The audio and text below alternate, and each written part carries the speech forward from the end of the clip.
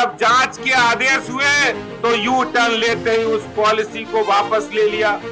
अगर इतनी अच्छी पॉलिसी थी तो वापस क्यों ली? भ्रष्टाचार मिटाना हमारा संकल्प है।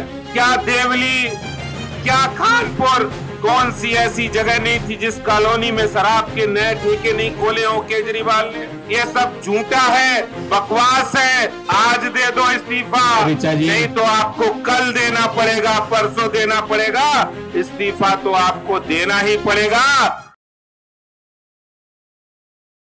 हमारी महिला मोर्चा की अध्यक्षा बहन योगिता सिंह जी, पूर्व विधायक अनिल शर्मा जी, हमारी उपाध्यक्षा बहन सुनीता कांगड़ा जी, विनय रावत जी, और हमारे पूर्व विधायक यहाँ उपस्थित कमांडो साहब यहाँ विधायक भी उपस्थित हैं, सभी कार्यकर्ता साथियों भाई और बहनों। आपको पता है कि अगर कल के दिन, परसों के दिन केजरीवाल जेल के अंदर गए हैं तो ये भारतीय जनता पार्टी के कार्यकर्ताओं की तो बड़ी जीत है ही, इसमें कोई शक नहीं।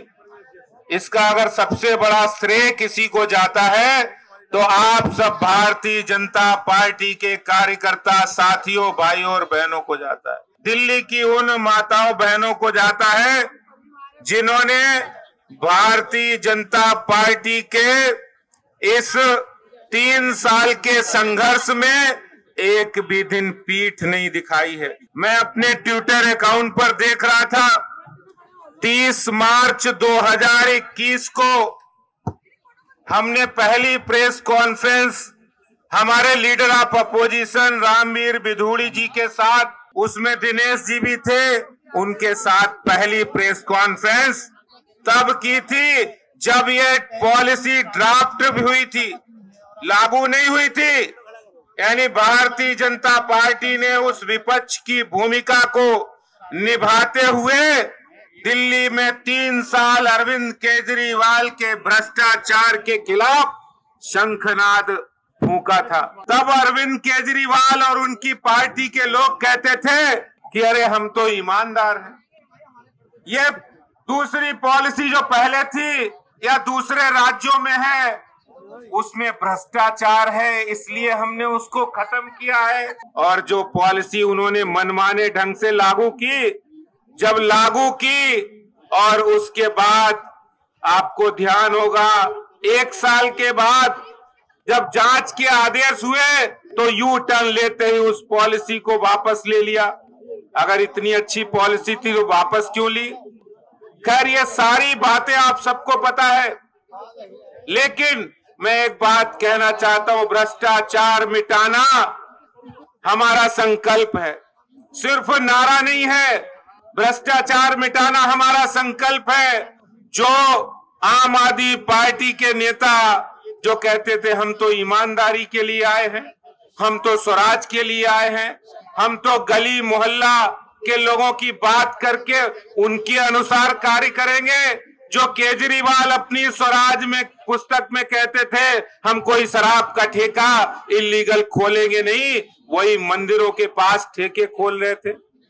वही शराब माफिया को हज़ारों करोड़ का फ़ायदा दिलवाने के लिए गली मोहल्ले के नुक्कड़ पर शराब के ठेके खोल रहे क्या लक्ष्मी नगर, क्या पटेल नगर, क्या मोती नगर, और क्या देवली, क्या खानपुर?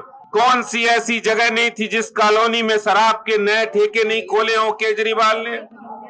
हद तो तब हो गई जब उन ठेकों को बंद कराने के लिए, जब माताएँ बहनें प्रदर्शन करने के लिए आई तो उन पर भी केजरीवाल के गुंडों ने लाठी चार्ज किया।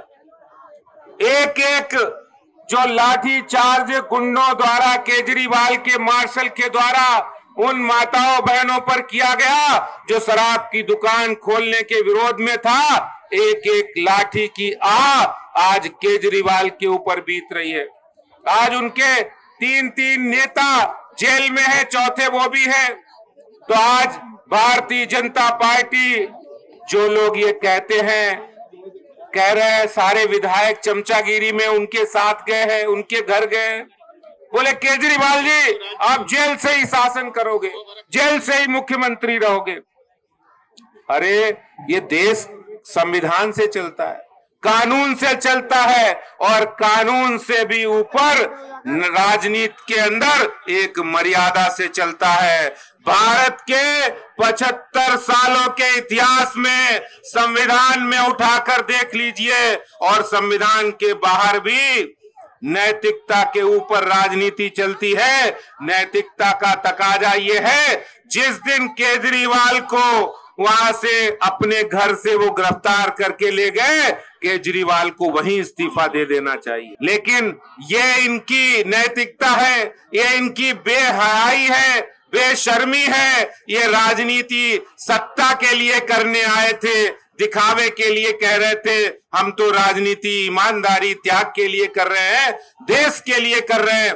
ये सब झूठा है बकवास है सिर्फ़ एक दिखावा है। और केजरीवाल जो दिखावा कर रहे थे वो सारी की सारी देश की और दिल्ली की जनता उसको पहचान लिया है। इसलिए केजरीवाल आज दे दो इस्तीफा नहीं तो आपको कल देना पड़ेगा परसों देना पड़ेगा।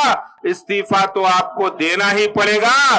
भारतीय जनता पार्टी के एक एक कार्यकर्ता का संघर्ष जो रंग लाया है, वो अंतिम दहलीज तक जाएगा जब तक केजरीवाल और उनकी सरकार का इस्तीफा नहीं होता, तब तक हमारा ये संघर्ष कायम रहेगा। बहुत बहुत धन्यवाद। जय हिंद, जय भारत। भारत माता की। भारतीय जनता पार्टी। भारतीय जनता पार्टी। केजरीवाल इस्तीफा दो। भ्रष्टाचारी केजरीवाल। आप देख रहे हैं सौगंध टीवी सौगंध वतन की।